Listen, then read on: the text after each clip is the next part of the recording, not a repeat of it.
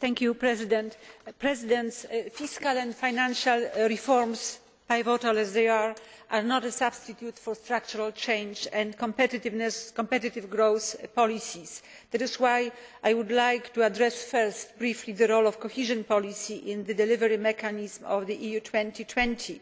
In its conclusions, the Council sent us a clear message to involve cohesion policy in the implementation of the EU 2020. After all, this is a policy that was the only truly successful strand in the delivery of the Lisbon Strategy, as confirmed by the recent March communication of the European Commission.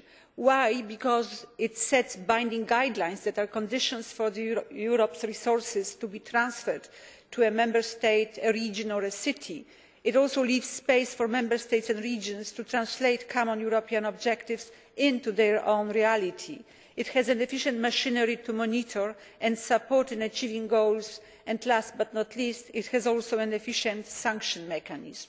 on economic governance i would like to support strongly the idea of going beyond the fiscal surveillance towards competitiveness related factors generating or contributing to imbalances i also believe we should say today clearly urgently and loudly why fiscal surveillance did not work and the stability and growth pact did not deliver.